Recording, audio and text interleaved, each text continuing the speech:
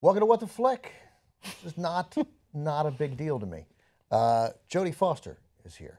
Hi there. And uh, I have a tremendous amount of uh, admiration for you. And so I'm, thank I'm, you. I'm glad you're here. Um, And uh, delighted for the opportunity to get to talk to you. Uh, we're going to talk about a bunch of things, but among them, uh, you have a- movie coming out, and I just saw you be a director, which was fantastic.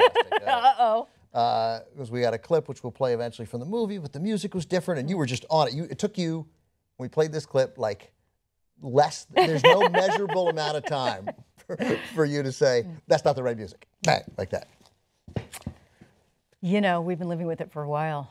Um, it's the best thing about being a director, honestly, is that it's a complete vision. And it should be really from beginning to end, from the time that you start developing the screenplay to the time you start going into production, casting, including budget and all the technical stuff, editing, and then the final process. So you clearly love directing, uh, yet this is just your fourth movie, Yes. right? Um, uh, I, I sense. I don't. Well, I don't know. Are there going to be more? Does this a direction you want to take your career? I, I mean, hope so, but you never know what happens. And Right. in a month from now, maybe I'll never work again. You well, never yeah, know. That's true. Of course, Uh, that I that- hope so. It's definitely what I've always wanted to do ever th- since I was a little kid, really. more than acting. Yeah, more than acting. I mean, I guess because I was a child actor, I thought that by the time I turned 18, my career would be over. That's what everybody That's kept what- saying. That's what happens. With And then, actors, right? um, and then everybody said, "Oh yeah, but when you're 40, you'll never work again." So, um, I, I, I don't know. It's hard for me to believe sometimes that I'm an actor, I, even though I've done it for so long. Uh, it's not really my personality. I'm not that guy. you don't um, carry yourself in the manner that I am used to of a Hollywood star. You, I mean, you, you, you walked into this building today, With my sandals on. just, just a, you were just kind of a person, um, and, uh, and I, and, and much of that is unfair to many of your brethren Mm-hmm. in the community because many of them are, are also regular people. But we have an image, and then when somebody meets the, that image of sort of some sort of nuttiness or entitlement, we tend to ascribe that behavior to all of them. Well, there are entitled real estate brokers as well There out are, there. there. Yeah. um, it's a funny job, you know, and it, it's um, it's a job that's allowed me. A, it's the best film school I could have ever had, Right. being an actor. Um, but it also allowed somebody like me, who lives in their head a lot, um, to express themselves emotionally and creatively in ways that I might not never have found before. So I'm very grateful to having been an actor. And um, it's true, it's a weird fit for me because it's not really my personality. I'm not like the kind of person who dances on the table and does imitations. Right. Um, but I think that's maybe what's ma- made my work different. That changes my next line of questioning because I was going to ask you to, to dance on the table. Okay. Me just cross that. Maybe later. Let me cross that out. Um, the uh, so uh, before we get to uh, the movie, uh, I note I you have uh, oh, you've done four movies: um, uh, Little Man Tate, Home for the Holidays, The Beaver, and and Money Monster. Um, and but also Orange is the New Black and House of Cards. So Yes. television, because television, when you started out, when you were doing television, you did a lot of TV as a kid. Television is a, it's a completely different world. It's not even. It's almost. It's not even the same thing. Yeah, well, it's all changed. And, um, you know, that's what we love about the movie business and the television business, entertainment business. It changes over time, and, and there have been a lot of changes in the film business. Um, but right now, narrative is really on cable. Yeah. And it's uh, really an exciting time, especially for actors, um, because they can kind of go back and forth and they can have an arc in a season that runs for, you know, and television that runs for eight seasons. Right. As opposed to a feature film where they're really, you know, they have an hour and a half movie and they're dedicated to that, but it's all they can do is have a beginning, a middle, and an end, and that's it. But that eight season arc that existed when you were Yep. making shows in the early 70s and into the 80s. But I suspect that, that if you'd been asked in 1989 to Right. direct an episode of, I don't even know if ER was on the air, but LA Law or ER, you would have been like, no, I'm not going to. It's not the same. And those were actually fairly good shows, but it's not the same kind of arc that we have now. Not yeah, that's true. There's, they're, they're doing all sorts of interesting things, and um, yeah, the world has changed. You know, they don't have commercials. There's uh, they're not uh, censored quite as much. Yeah. Um, there's uh, yeah, it's just it's it's new and different. Um, it's an opportunity to express yourself differently. I mean, it's true. I only made four feature films over a really long period of time. I started when I was 27, and you know, here I'm 53. I've only made four, but I've I've not gotten off the ground many films. Oh, good. Good for you. Lots Great, of that's good to movies have ended Yeah. up uh, not getting off the ground, and I had a big career, and I, you know, had kids and did other things, and um, but I do feel like now is uh, the time to really focus on directing. So, uh, Money Monster, where uh, which opens uh, on Friday the thirteenth, Yes, it does. Um, An auspicious day. an auspicious day. What? Um, I mean, nowhere like in the in the press notes is the the word "Mad Money" mentioned, but Ah. Jim Cramer's show on CNBC seems like the, at least as an inspiration. I, I- Well, I know you're going to be surprised to hear that our our movie is not based on Jim Cramer, um, but he is. You know, he's the most famous financial host that's out there, and he does some pretty wacky things. Um, George Clooney in the movie plays Lee Gates, who's a who's a financial host. Uh, a little smoother, a little more suave and Georgie, Right, looks but um, but but does use some props and um, uses a lot of um, actually film images behind him to illustrate his point, charts and crazy things and bells and whistles and technology.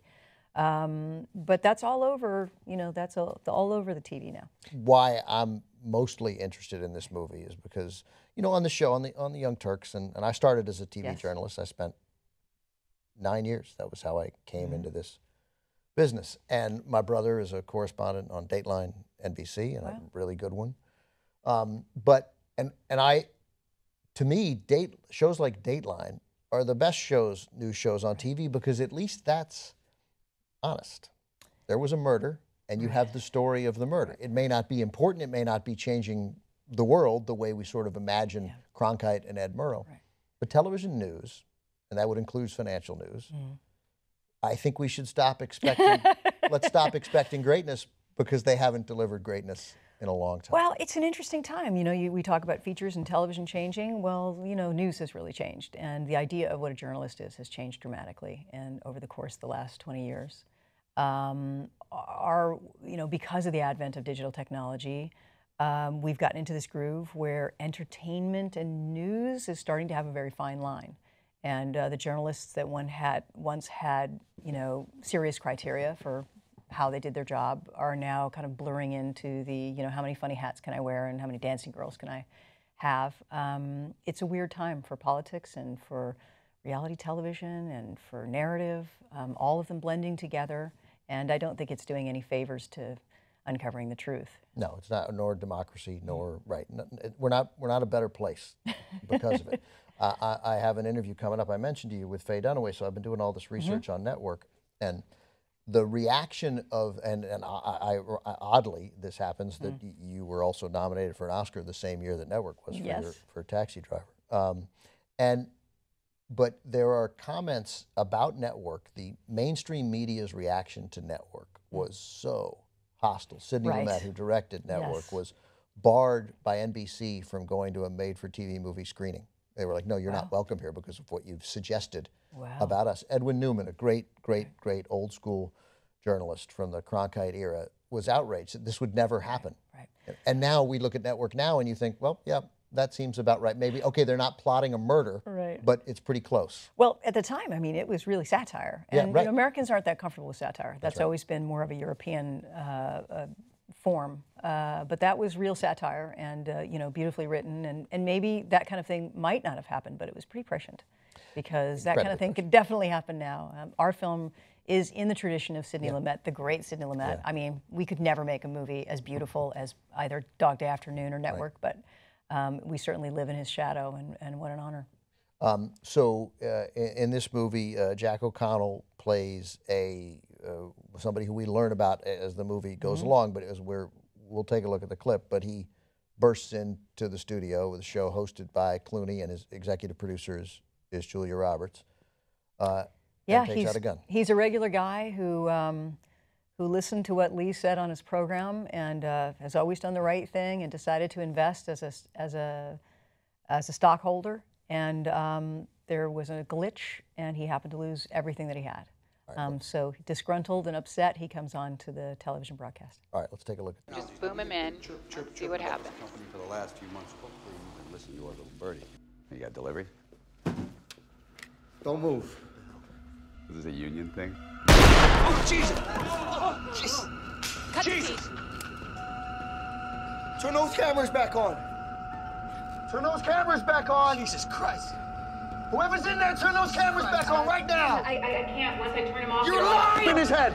Turn the cameras on, Patty. Turn them on. Patty! Right, I'm gonna count to three, and I swear to God I'm pulling this trigger. One. Patty, what do you want me to do? Turn him up, Patty. Two. What do you want me to do? Put it up. Wow. And then she doesn't turn them on, and George Clooney is killed. That's a, it's a, I would have gone a different route, but you're a professional, you know. Um, so uh, uh, Jack O'Connell was in Unbroken. right? Yes, Yeah. yes, The- the and many Angela- other wonderful British movies, including uh, the television stint he done on Skins. Everybody's British. Yeah, everybody's, everybody's freaking British. British.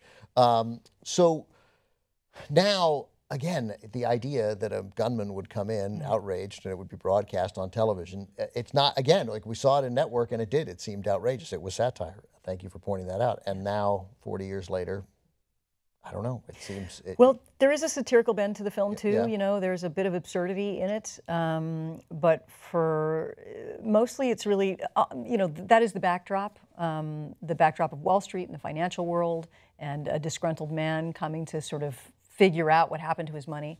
Um, but mostly it's a character drama. You know, it's a, a character drama about these two men, this sort of strange brotherhood that happens uh, while he while Lee Gates is being held hostage. George Clooney's been held hostage, um, and then the producer of the show, played by Julia Roberts, who's kind of producing their survival and um, doing a, a little bit of a better job than the police at the time of figuring out what's going to happen. Right, and so I also imagine and trying to figure out what what happened because Yes. that's what's going to be the story. Uh, And and and against this backdrop in the middle of this campaign, I mean that I guess why this movie is well timed. Yeah, that we yes. have a. we didn't do it on purpose. Uh, no, but I mean, well, you ta- then then you successfully tapped into the same anger that Bernie Sanders did. Yeah, well, um, you know, the, the film has been around for, for a little while, and we brought on a young uh, writer to come in and, and really, in some ways, make it more relevant and say what's, what's really happening today. And um, the world of technology and the world of finance, you know, the melting of those two and all of the problems that come out of that was something that he really wanted to explore. And it just so happens that, you know, all of that is, is part of the dialogue today in this new political campaign. um, is this the craziest uh, uh, campaign you witnessed? You, are you political at all? You have, you're somewhat political. I am not. Um, I just make movies. It's all I ever wanted to do is make movies. Um, I do tend to make movies about the world, so uh, and not about space and Mars and all Right, of that. So. I do tend to make more movies about what's happening now. And um, I'm always more interested in the dramatic side and in the character side and how that reflects the backdrop. You know.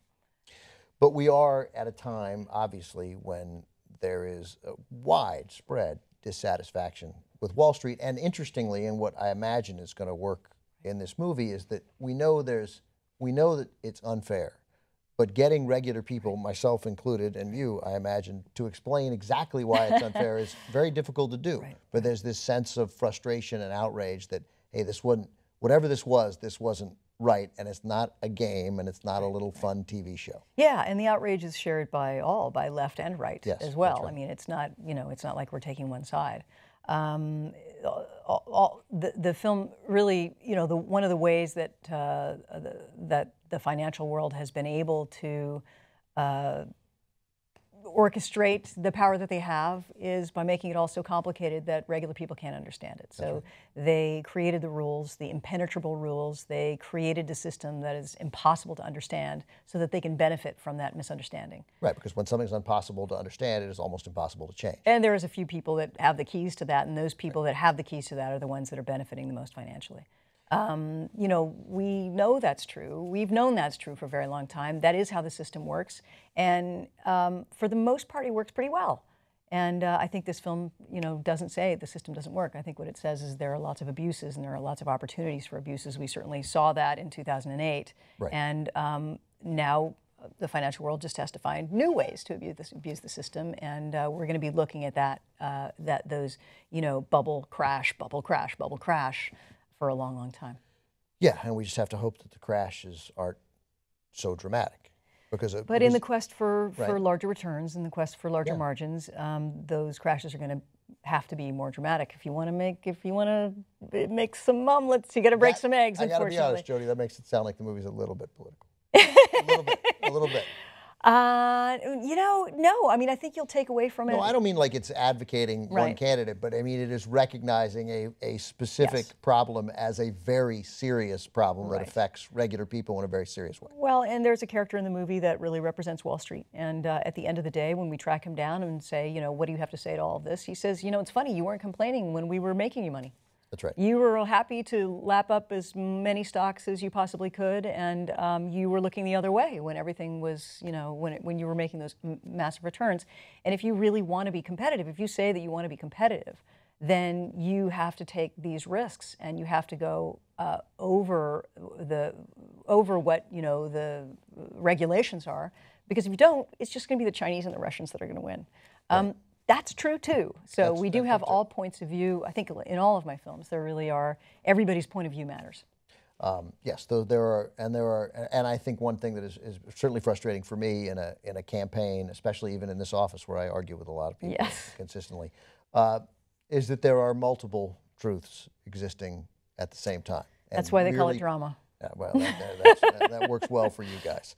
Um, so the the obvious questions I have to get out of the way Sure. that I don't like, but I mean, you're you know, come on, you're like it's it's George Clooney and Julia Roberts. There's a degree of just like They're awesome. that. They're Yeah. awesome, and uh, they're wonderful together. And it's amazing. You know, they're they really aren't on screen for most of the movie. They're on, on screen for two minutes in the beginning and two minutes at the end, and yet they have this virtual relationship in the film where Julia speaks into his ear through an earpiece, and he Was it looks her into speaking to her when you shot? Was No. no, No, So- they were nowhere near each other. right? And yet, um, sort of the magic of their chemistry and their dynamic really shines through in the film. They really are brother and sister. this uh, fourth, I think the fourth movie they've done together. Is it? A couple of Ocean's movies and uh, uh, Confessions of a- the- Confessions, the, the, yeah. Clooney movie, right? Confessions of a Dangerous Mind. Um, so, um, uh, but I re- read some interesting things about just how you put this together. Mm-hmm. So, was it shot sequentially? Is that right? No, no? not really. well, it kind of was. We had to do all the stuff that was on the uh, on the Money Market stage, uh, the Money Monster stage. We had to do that all together, and so that ended up being the first two two and a half weeks of shooting. And uh, I read again. This is more for, I suppose, deep film buffs. But some of it, like the stuff that's on television, shot with television cameras, so it will look. The texture will literally be different than yeah, it is we, than, we, had- than through. we wanted to figure out how to really separate the d- dramatic eye, so the film eye in some ways, uh, from the from the broadcast eye. And so we separated that uh, visually and um, and also sort of psychologically by the lenses we used and and by how we position the cameras. So um, all of these cameras are going simultaneously. The the four broadcast cameras, uh, sometimes there's three, but actually there's four broadcast cameras, and then the one what we call the film camera, although it's not film. Um, the film camera, which is uh, the dramatic eye of the film. and they do look different, right? There'll be some They do look different. Yeah. Um, you know what's interesting about our film is that there is it's all in real time, much like a lot of those Sidney Lumet movies, and um, it's one action happening, and it's happening all over the world. So we'll see something happen on the broadcast that we're watching, we'll experience it, but other people are watching it everywhere around the world, including the control room that has all of those monitors. The, the police that are watching downstairs, a, a coffee shop, uh, somebody in Korea, somebody in South Africa, somebody in Iceland, um, all of them are participating in one event the way you can do these days in the modern world. And um, for all of our for, for all of the things that are that bug us about technology one of the best things is that it's it's really a democracy uh, and um, all of these people are allowed to influence what happens on the screen. So you shoot this. So the movie takes place in real time, like Yes, what, like hundred minutes, something like that. it's uh, an hour and a half yeah Um, that's ninety. it's more like a two in. hours so there's a little bit of cheating in there Well, somewhere That gets to a little like you. It's somewhat like it's really hard to do movies that take place in real time. well people go to the bathroom we never showed anybody going to the bathroom Right, right. Well, we got to. They eat, they eat. th- They eat. Right. They snack. they, they call home. I just got to send a quick text. There's probably not a lot of that. Um, uh, you wouldn't believe what's happening at work today. Hang on, I'll be right there. Um, uh, but it is. It can be limiting because you can. It can. It can. It can screw up. Uh, uh, it can screw up your sequencing. It's hard. To, you, you're. You get bound to that It's a- way of storytelling. It's a real challenge as a director because you have to create tone with the story. You can't just say you can't just cut and go. Meanwhile, Right. You know, you each each each piece. Each, let's just say it's in three acts or it's in seven acts.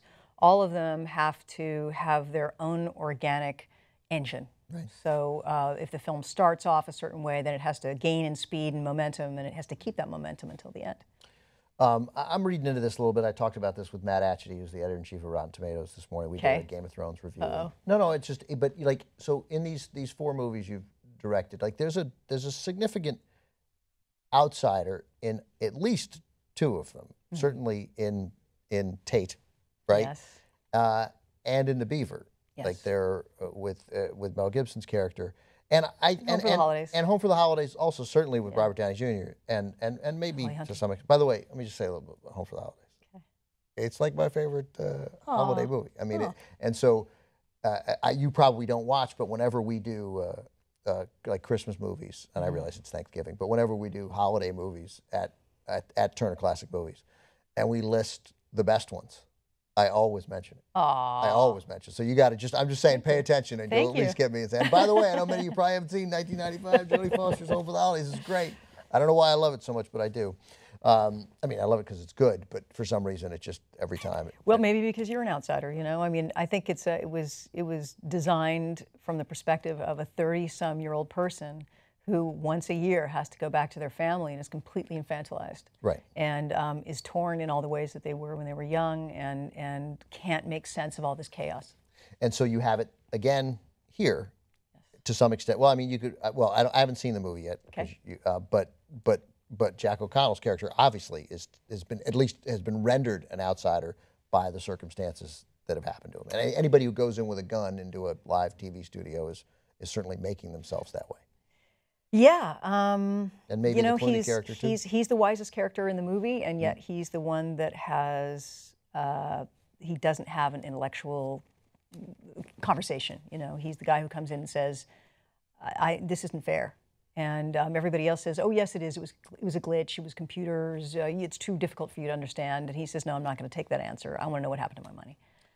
You know, look, I don't know you, but you seem super well adjusted. So, uh, but does that, but does that outsider surprised. thing, does that, do those types of stories, did, are you, were you drawn to those stories? I, I think that's more true of my, my first three films, and I think this film is a bit of a departure in that area. But there are a lot of there are a lot of things that I I find again in this film. Um, you know, uh, certainly the film has uh, an intellectual side and an emotional side, and it's equally divided. Um, that's something that's true of all my films. Um, it's yeah, I, I suppose it's a group of unlikely people that come together, uh, almost like a little funny subset family. People that shouldn't belong together kind of come together to solve something. Right, and that's true in television, even in, in, I mean, I've been working in TV all my life, and you always, there is a connection with the people, you know, not here, obviously. I could care less about these people. um, no, you bond, you, right, you bond, and it's a particular, you know, it's a, any time, any job that's a particularly stressful environment, and where you feel, and that's certainly true here, like you're doing something important. Yeah. Um, that brings you together. Um, so, uh, I, uh, in, we talked a little. well, First of all, before we get to that, last Okay. thing about this movie, because we talked about TV, Yes. and you got a couple of big uh, people who've succeeded enormously in this new world of TV. Dominic West, of course, on The Affair, uh, Caitriona on, Balfe. on Showtime, and what? Caitriona Balfe from Outlander. Right, and right Mm-hmm. from Out, Outlander, which I've only seen one episode of, but right, and uh, uh, and Giancarlo Esposito, from Yes, Breaking Bad, Breaking and, Bad. and based on what we now know, coming up in season three of Better Call Saul, he's gonna, he's finally gonna show up. Well, and George Clooney from ER. and George Clooney was on the program ER. It's on the television program ER. Um, but again, like it's a different, like again, whatever. You're when you were making movies in the '80s, we weren't looking to TV to find stars, but these guys and, and and Dominic West was on The Wire. That's right. Also, well, all so right. good. Yeah, it's liberating, isn't it? I mean, that actors can just act, and Right. they can act in lots of different places and play lots of different characters and over longer periods of time, and uh, that's a wonderful thing right now. Um, so nobody, hardly anybody, goes from being a successful child star to a to a successful grown-up actress. I don't, I don't really know why. It, it's, you know, I'm interviewing at the film festival. Mm-hmm. Um, oh man, I'm going to blow his name. So let's, that's a shame. Well, you'll be Uh, editing It's okay. out. Well, no, it's okay because it's uh, it's the the uh, in. Did you see Cinema Paradiso? Yes. The kid. Yeah. So I the don't know the kid's name. Right. So Toto, the young Toto, who Mm. was the Toto who you're left with. I mean, he was the adorable one. He of the three people who played that guy in the movie. And I'm interviewing him at the festival, and he said, like, yeah, he gave it a shot. He says no bitterness whatsoever that he didn't succeed as an actor. He was in a bunch of movies. He's like, and look at the movie I made. It's like this great, wonderful thing, and I'm so happy to be a part of it. But when you're a kid, he's like, you just react. And then as you get to be a certain age, you realize, oh, I have to. Now it's work. Now it takes work. It's not just that it is work, but that it takes work. It takes planning, and that is something that some people just can't do. Was there a ever a moment for you? don't Is that does that ring true? First of all, Um, well, that's definitely true because I, I, I, you know, you at 12 or 13 years old, it's not like you're sitting there going like, hmm, I wonder if this is going to add up. What's this going to add up to? And you know, maybe I should send that person a note and tell them about these impressions I can do. right. But I, th- I think the, the biggest reason that uh, child actors don't grow on to be uh, adult actors is that it's a different style of acting. And uh, most child actors are, are just asked, asked to be the child actor. You know, they're not really asked to grow into, you know, a full character. And I got lucky because I did get to play some really full characters. I didn't really As you mean, in, like in Alice and and in Taxi live here Driver. anymore, Taxi Driver, Bugsy Malone, you know, even Yeah. Little Girl is Down the Land. I mean, those were all movies where uh, it was incidental what age they were. You you did four movies in 1976. You mentioned Bugsy? Malone, Taxi Driver, but those again, those are those were those were characters. I mean, I guess you, you were 14 then, I think, something like that. I was 12 when I did Taxi Driver and Bugsy Malone. but those are Um, real. Those were grown up parts. I guess so. I Yeah. guess so. And you know, my mom was amazing. My mom was right? really amazing at. She was a, an incredible movie buff, and she really wanted me to have a career of somebody who was respected and who had a long career. And um, so she chose, maybe selfishly or, or w- for a vicarious thrill in some ways. She wanted me to be meaningful and to have a, a meaningful career. And I think that that ended up allowing me to have a better transition to adult acting. Is there a movie that you consider like your transition, or is it? No, I mean I had some awkward periods. I uh, um, I made some. I did make some. I made some movies that weren't that great, and then I went to college, and I thought that oh well, my career will be over. But I guess I'm going to go on to write, and hopefully someday to be able to direct films. So um, I'm going to keep trying to squeeze this acting thing, but I know it's not going to pan out. And The people who uh, say the people who say I went to college and don't mention the college always went to a. I did go to Yale, which is Oh, an awesome go, there you go, place. go, yeah. Um, but I really didn't think I But would you be an actor when I stopped grew acting, right, when you went to Yale? Pretty no, much. I made five movies while I Jesus, was. I'm an idiot. I did. Yeah, they weren't. They didn't do very well, but I did five movies while I was there, and um, and then I came out and I did the six months of sleeping a lot when Mm. you finish, saying, you know, what am I going to do next? And um, eventually, I did The Accused, and and my career started over again. So that was the so post college. That's where things. I think so. Yeah, I think The Accused was the big one. Um, you still as pleased with that performance as I imagine you were at the time? Is it? I, I thought it, I thought it was terrible in that movie, that right? and um, I don't know what was wrong with me. I mean, I guess I, I I had my own prejudices about myself on screen, and I was young. I didn't really understand what I was doing, maybe, and um, I was kind of embarrassed by the performance. And I thought, oh, I think I should go to grad school. Is that right? so I did my GREs, thinking, oh, well, that's the end of me. I guess I'll go to grad school. And then the movie did well, and I kept acting. Um, uh, can you tell me a little bit about that Oscar night? Do we? Oh, the first Oscar night. Uh, The first Oscar night. that was Look at fun. You, the first Oscar night. It was fun, but I was by myself. I was the only one from the movie, so I was, you know, running around trying to figure out what to do because there wasn't there wasn't anybody from the movie. So the second time I won for Silence of the Lambs, I think was more fun because everybody from the movie had won. Right, We so won all five categories, the top five categories, and we were all kind of running around with each other, sweating and moving from thing to thing, and we all went to the same designated place. So it was a little bit more of a family. Had you won all the things that lead up to it before the accused? Like, so did you have a sense that you this was a good bet? Yeah, a few of them. Um, I won the Golden Globe, but nobody else did, so they were all bummed. um, yeah, I think we, you know, that was an amazing year. I mean, uh, Silence was a, an, an amazing experience, and uh, I just recently, it's the 25th anniversary of Silence. I just got to see everybody, Jonathan Demme and and Ted Tally, and you know all the actors. I got to see them in New York, and um, you know, you you you forget that. Um, you just forget it. You forget it all. You forget what an incredible wild ride it was. What's your best movie? What movie are you most proud of? Not directing. Uh, I, you know, I don't know. I'm, I'm probably Taxi Driver. I mean, I think Taxi Driver is really just a great American classic, and I'm just can't believe that I got to be a part of the 70s in the golden age of American cinema. we were talking before. I'm interviewing Faye Dunaway at the festival, and I, was telling her that, like, look, I think that, Yeah. meaning Faye is from 1967 to 77. If you go from like Bonnie and Clyde to Star Wars, like the 10 most important years, maybe in American cinema. And she was, and and yeah, and I'm, I realize I'm telling you the story, and I'm like, oh wait, you were, you count, you're I, in did, that. I guess I count, but I was so No. young. I think I was just wide-eyed. You know, I couldn't believe it either at the time. Well, the point is, we don't know it then. We know it now. So you count. Believe me, I, I have news for you. Um, so, uh, uh, did you give an answer there? Oh, taxi driver. Yeah. Taxi driver, I think Taxi Driver, um, and and Taxi Driver and Silence. You know, uh, um, Silence. I, I feel like the beauty of that movie really came out of Thomas Harris's typewriter when he when Yeah. he created the book, and and all of us did our best work. And who knows, maybe we'll never be as good as we all were in that movie when we came together. Um, it was just the book was so inspiring that I think everybody, especially Ted Tally, who wrote the screenplay, it just came out of his just came out of his typewriter and into everybody's mouths. You know.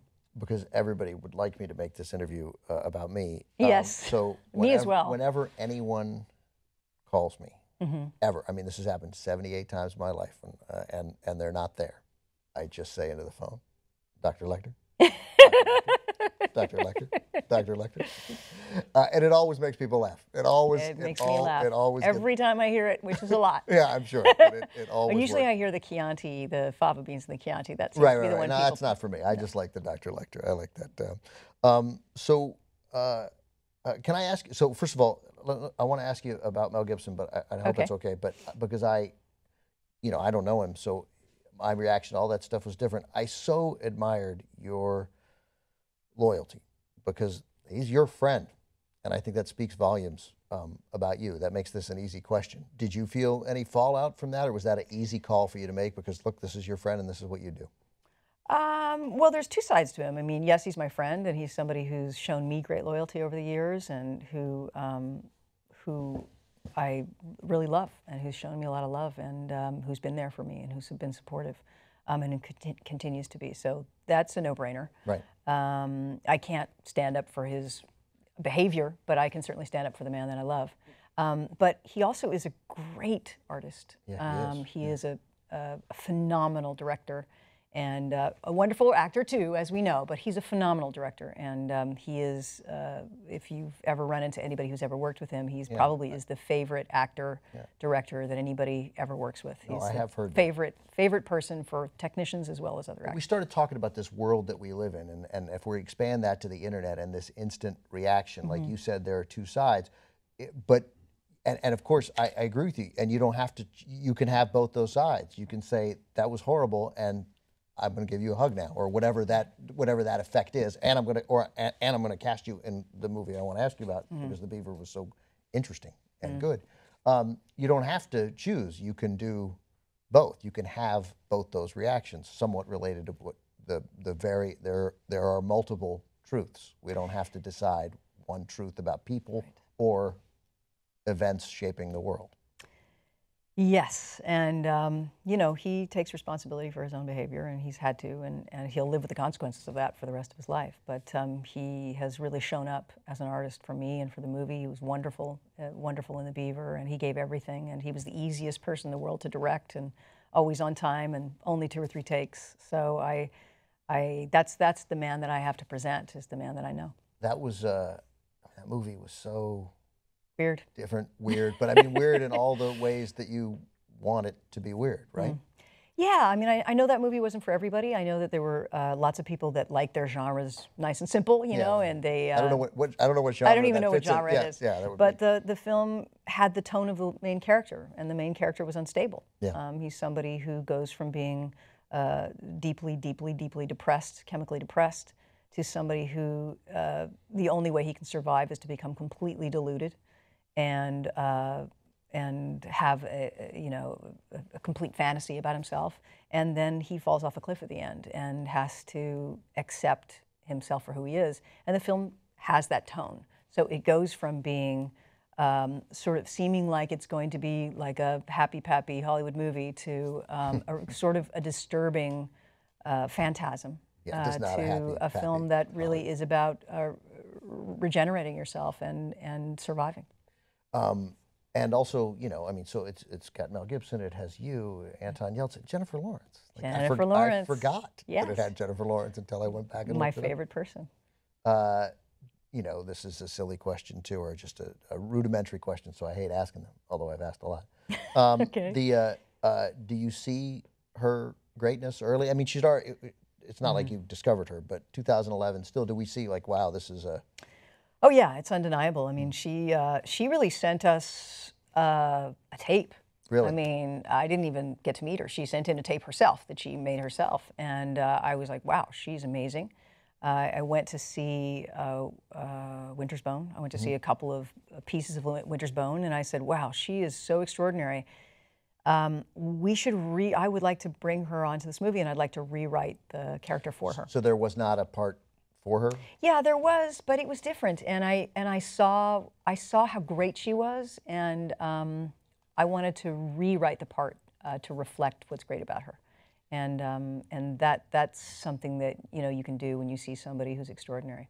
for the last like even I guess you know, because of the nature of TCM and the older stars that I interact with, mo- many, most of whom overwhelmingly are wonderful and just they tell great stories and they're appreciative and but there is a degree of I don't go to the movies anymore. Yeah. Right? And the movies are terrible and they don't tell any good stories. And they're all the stars are all, you know, they and they use some horrible pejorative word. And I for years I would say, you know, I used Clooney. I was like, mm. look, if George Clooney had been 35 years old in 1935, he'd have been Clark Gable. Like it's not, he would have been a classic star then.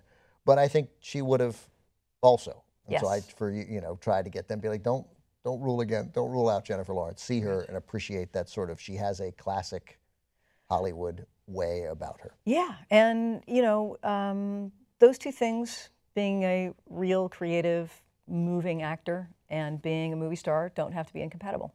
Um, and um, you know they don't have to be on opposite sides of the fence. I think, uh, and Money Monster is a good example of that. I mean, hopefully you can make a film that's a, a general public film, that's a genre film, that's a taut thriller. Um, that performs for people in some ways that way, but that also is really intelligent and that allows them to uh, to be challenged, allows an audience to be challenged. A couple more questions. That's hard to do now, though, isn't it? I mean, we Yeah, got- I mean, is. Every movie is a, you know, we all know what the big successful movies are, the franchises, and this is obviously not about Right, to be a not one of franchise. those. It's a one-off. Um, uh, but you still have, you know, you still got the big stars in it. You got many of the things needed Yep. to make a hit. But it's like you either make a movie like The Beaver, which, by the way, everybody who hasn't seen should go see, but that not a lot of people see. Right. Or you have to make a, uh, you have to make a Superman movie, and then you try to find this acceptable middle ground. Yeah, it's a weird time in the film business. Lots has changed. Um, people's habits have changed. You know, what, going to the theater has changed for people. People, a lot of people don't go to the theater anymore, or if they do, they want to only see a franchise film. And so, um, and that really is a byproduct of how the studio end of the industry has kind of changed its own industry. Um, but I just make movies, and uh, I make small ones, I make big ones, I make comedies, I make dramas, um, I do television. Uh, that's all I've ever really wanted to do, and I feel like if you're a creative person, you know, you're going to figure out how to tell your stories. Because I work at TCM, I have to ask you about two people before we go. James Sure. Garner, Oh, I love James Garner. he's my favorite. I did yeah. Maverick with James Garner, but I also did a little known uh, Disney movie with him years before. I was probably about 10 years old, and it was me and a camel and, uh, and him in the West. Um, just a great guy, fun, bright, uh, great sense of humor, just a lovely, lovely man. Uh, anybody who works at TCM, uh, you, your first credit, I think, you were on the Doris Day show. I don't know if that was my first credit, but yeah, I was on the Doris Day show. I don't remember anything about it, but I, yeah, I, I was. No Doris Day memories?